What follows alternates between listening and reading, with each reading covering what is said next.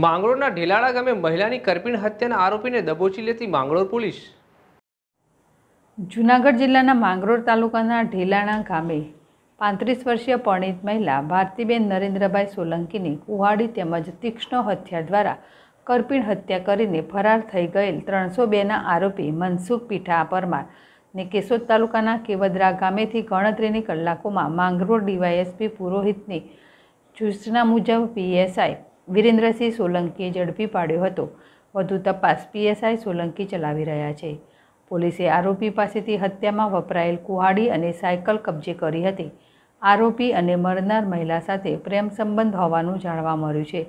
મહિલાના પ્રેમ સંબંધના કારણે મહિલા ભારતીબેન નરેન્દ્રભાઈ સોલંકી ઉંમર વર્ષ પાંત્રીસ અને તેના પતિ માંગરોળ અને અન્ય જગ્યાએ રહેવા જતા રહ્યા હતા. જાણવા મળ્યું છે. જીતુ પરમાર જેડેશ ટીવી, માંગરોળ.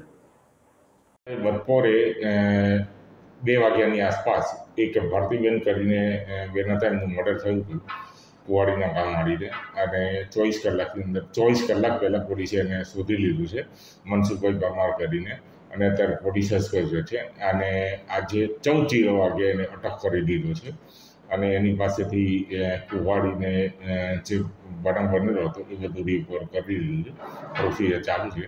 પોલીસે ચૌદ કલાક ચોવીસ કલાક પહેલાં એને અટક કરી લીધું છે.